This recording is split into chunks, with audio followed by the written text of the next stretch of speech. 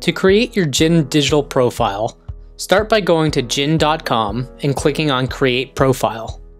Enter two of the following three pieces of information to verify your profile your email address, your GHIN number, or your last name. Once you've entered the information, click Verify and an email will be sent to you. If you don't have an email address on file, you'll need to contact the SCGA or your club official to register your email. Once you receive an email from ghinprofile at usga.org, click on the link provided to complete the process. You'll arrive back at the Create Profile page where you'll create your password.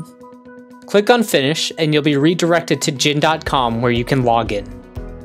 You can also create your profile using the GHIN app. To download the app, open your App Store, search for GHIN mobile app, and click Download. Once the app is downloaded, open it and select Create Profile, then follow the same steps outlined before. For more info on using the GHIN platform, visit scga.org.